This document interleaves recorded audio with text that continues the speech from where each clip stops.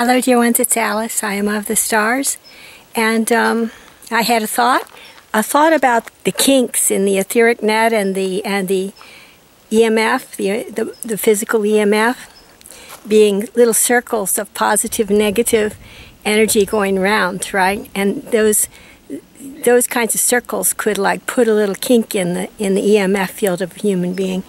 And I wondered Someone suggested to me just now on the, on the psi plane, Claire Hearing, that uh, it could be that's why magnets help the human health.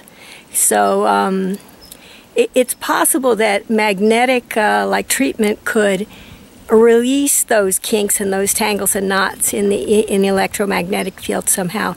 I don't know the like the specifics about it, but but it, I think it's something worth looking into.